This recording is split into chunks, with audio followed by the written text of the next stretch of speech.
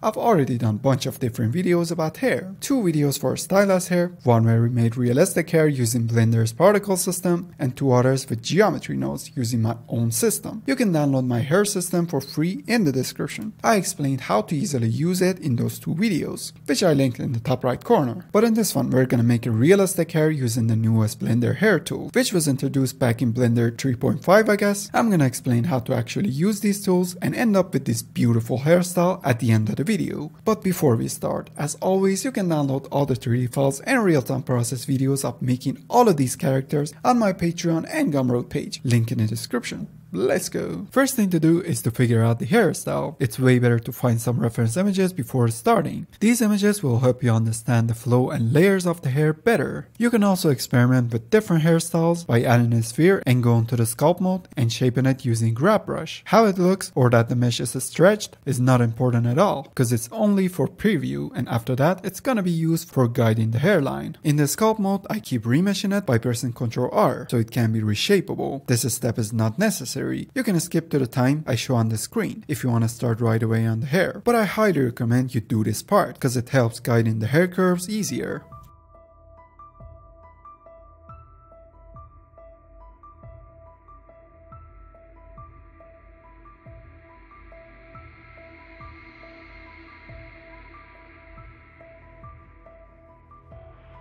Before we start laying out our hair guides, it's better to have a thin surface under the hair to use as the base. So let's select the character and in the edit mode, while in face select mode, select the top part of the head, basically where the hair grows.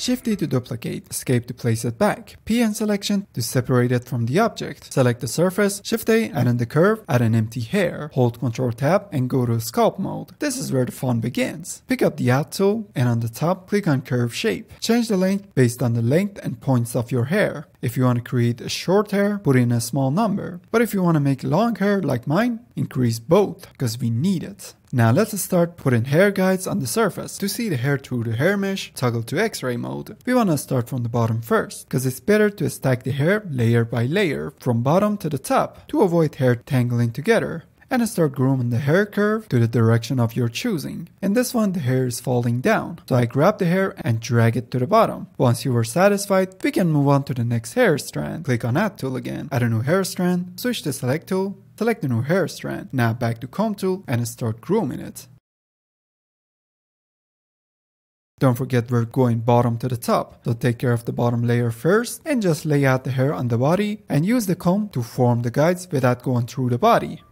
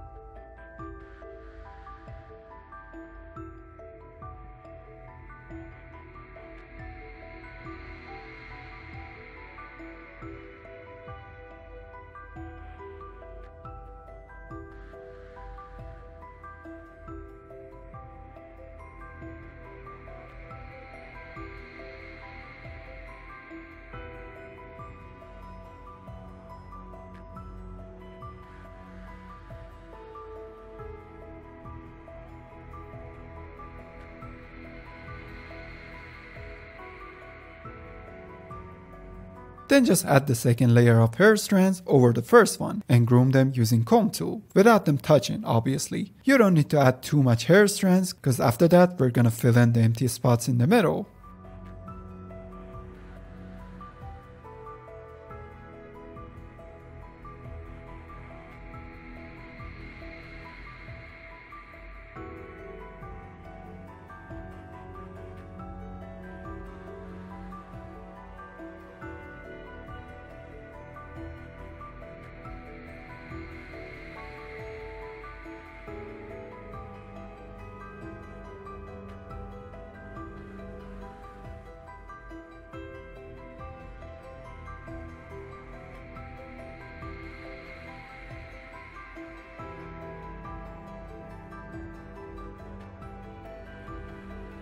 If you misplace the hair strand and you want to move it somewhere else, just pick up a slide tool and move that specific hair strand to a new location. Then just proceed to add hair strands layer by layer according to the hair clump we already sculpted.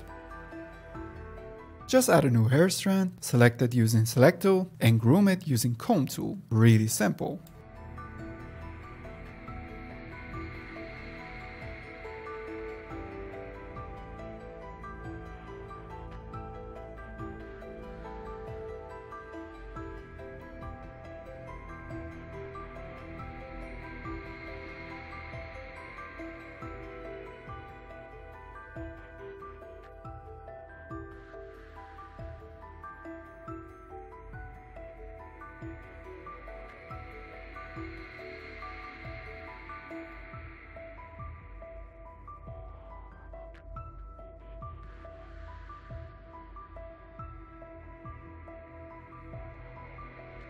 From here, the direction of the hair kinda changes to the sides, and we need to circle it around.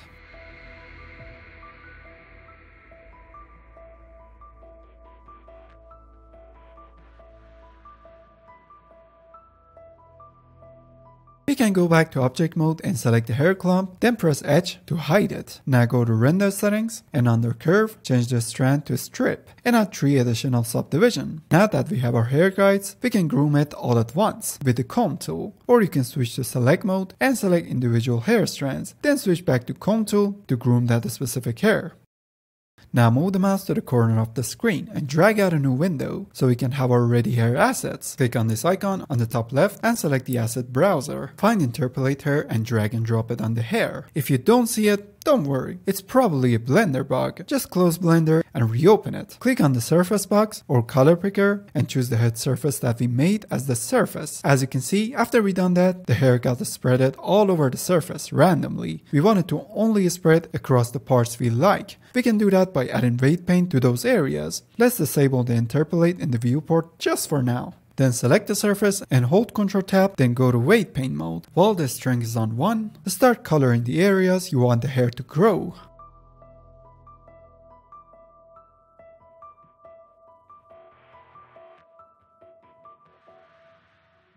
Then go to Object Data Properties, double click on the weight paint and name it something simple. Hold Ctrl Tab and go to Object Mode. Back to Modifier Properties, enable Interpolate again by clicking on this icon. Increase the density way more to fill out the empty space on the scalp. When it looked like that curve from the movie Ring, it's time to click on this icon, then type in the name of the weight paint you just made. Now the hair should be limited only to the weight painted parts. But there's a problem, and that's when you have a hairstyle like this, that the hair departs from each side, Blender doesn't know where to actually separate it. We gotta fix that manually. Select the hair surface, press tab to go to edit mode, while in edge select mode, find the middle edge. Hold alt and click on it to select the full row of edges. Ctrl B to bevel, then roll up the mouse wheel one time to add an additional edge in between. Now this edge would be used to separate our hair direction. To do that, hold Alt and select the middle edge, press Alt M and faces by edge. If it doesn't change anything, that means in the modifier properties, part by mesh islands is not enabled. Go ahead and enable it. Now we can move on to the other hair assets. Let's drag and drop clump hair into our hair. We can now change the settings in the modifier properties.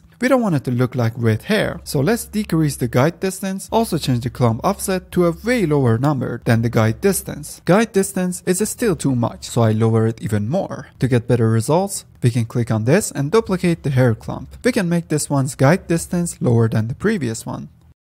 Now that we're done with the base, we can add more things like braid hair curves for example. Just drag and drop it on the hair to add the effect to the hair. And on the right, you can change all the settings. Braid start determines the starting point for the braiding. If your character doesn't have a natural curly hair and it's just starting to curl at a certain point, we can increase it. We can also change the radius to change the scale of these curls. Then if the whole thing is too much, we can decrease the factor altogether. To add more realism to the hair, we can drag and drop frizz on the hair. If your character has a straight clean hair, avoid this one. But a little bit of this might help with the realism. Just mess around with the distance and shape. Now to change the thickness of each hair strand, we got set hair curve node. Once we drag and drop it on the hair, we got these options on the right. Radius is the thickness of the whole thing. Factor min and max represent the thickness of the root and tips. If you're not scared of the project getting heavy, you can increase the density of the hair and interpolate hair curves. So if you lower the thickness of the hair, you need to increase the amount of hair to cover up the scalp.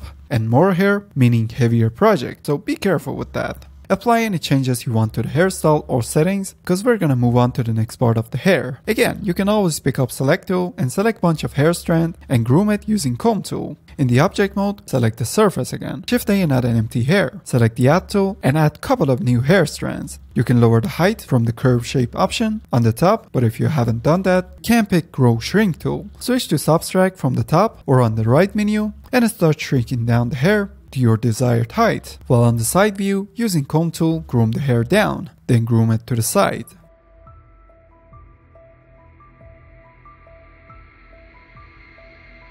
Drag and drop the interpolate hair on it and choose the hair surface as the surface, like the last time. Hold Alt Tab and go to weight painting. Then to object data properties and click on plus, then name it hair 2 or something like that. Now start painting the new areas you want the hair to grow out of.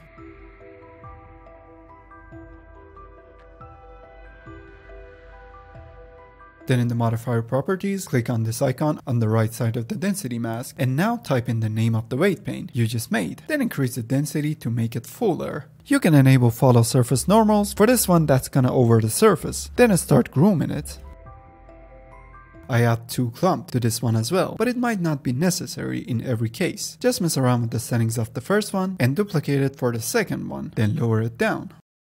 We can now add braid hair to add some randomness to the hair, but we gotta lower the factor to a really low number to avoid having a messy hair. Remember, we can always go back to weight paint mode to edit the areas we want the hair to grow out of. So if your hair is stuck out of their place or you think it should be somewhere else, you can just paint it out in the weight paint mode on that specific weight paint. We can now drag and drop the set hair curve on the hair to change the thickness of the hair strand. After that, we increase the density in the interpolate option to fill out the bald spots. Let's go back to object mode again and select the head surface. Shift A and add an empty hair again. Picking up add tool, from curve shape, I decrease the length because I don't want it to be long in the front. Then I started adding some hair strand in the front. Not much because we're gonna fill it up later. Then I groom it to the bottom while I shape it to be tilted to the right.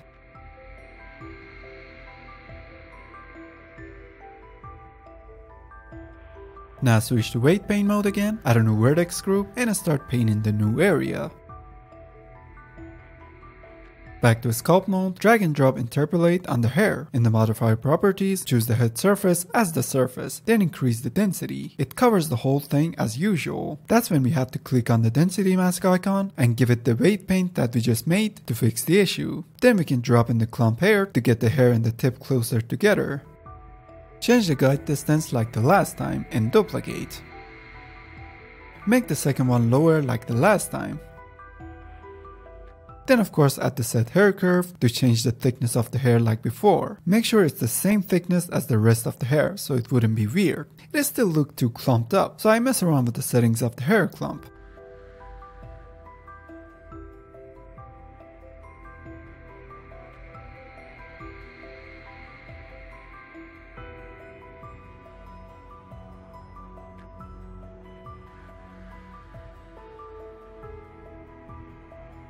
If you have a decent PC, you can go to render settings and change the render engine from Eevee to Cycles to see the hair better, but make sure you're on GPU compute if you have RTX GPU, because it's way faster than CPU rendering. We can also shape the hair in the rendered mode. Forming the shape of the hair in the rendered mode gives you a better vision of what the end result would look like. I groomed the hair a bit more to get it closer to what I have in mind. When you have a hair that separates from two sides, you will probably see some weird hair sticking out in the middle and maybe going through the body or something like that. If you run into such problems, you need to separate the hair. First select the hair and shift D to duplicate. Escape to place it back, go to edit mode, in the wireframe mode and front view, select the right side and delete it. Then out of the edit mode, select the other one we duplicated and in the edit mode, delete the other half. We could have just separated two parts with separate by selection, but I think this way is safer for curves. We also have to separate the weight paint as well. So go to edit mode, press L on one side of the head to select that half. Click on this icon and duplicate the weight paint. Click on remove to remove the right half from this weight paint. Now if you switch to weight paint, right half is gone. Back to edit mode, Ctrl I to invert the selection. Now click on the first weight paint, then remove. Move it to the top, then double click on it and separate it by naming it right and left so you don't get confused. Now select the left hair, under interpolate hair, write the name of the left weight paint in the density mask, then select the right hair and do the same thing. Let's hide everything except the hair by pressing H. Now let's go to rendered view to see what we have done so far. To have a better lighting, I add a free HDRI map from Polyhaven. This is the name if you want to use the same thing. You can find it on their website. Let's give it a new material. I'm going for a brown hair, so let's give it a brown color. You can assign the same material to each hair, but we can also select all hairs and select the one with the material last. Then press Ctrl L and link materials to link all of the materials to this one. You see nothing happens happens. I think it's a bug because when you switch to solid mode and rendered, it suddenly appears. Now if we zoom in a bit further, we can see each hair strands better. Then we can tweak the settings and fix the issues. As you can see, we got these weird harsh angles in the hair. That's caused by the braid hair curves. To make it better, we can decrease the subdivision and frequency to get a smoother strand.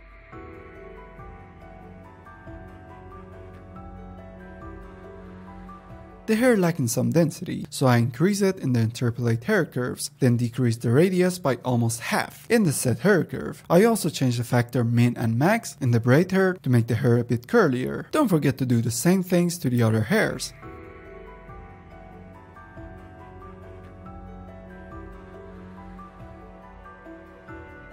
Now let's make the material for the hair. We already added a brown color. What I like to do is to mix it with principled hair node. So shift A and add principled hair this time, shift A again and add a mix shader and drop it in between. Then connect the principled hair to the shader. Drag and drop the color from the principled BSDF to principled hair so we can have the same color. We can now change the factor number to change the amount of mixtures of these two. Get a render and this is the final results in cycles. You can always go back and change the settings or change the factor in the shading tab to get the results you desire. Hope you find the video helpful. If you did, like and sub would be great. And be sure to check out my Patreon and Gumroad page to download all the 3D files and real-time process videos of making these characters. See you on the next one. Peace!